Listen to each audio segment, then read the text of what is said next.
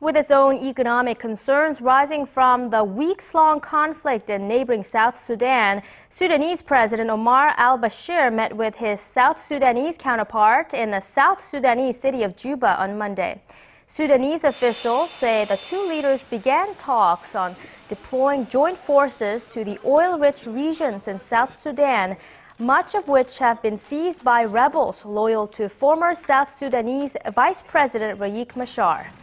While the southern state claimed most of the region's oil fields after the decades-long Sudanese civil war, it uses pipelines in the north to export oil. The near month-long conflict between factions of President Salva Kiir and his former deputy has left at least 1,000 people dead and displaced hundreds of thousands of others.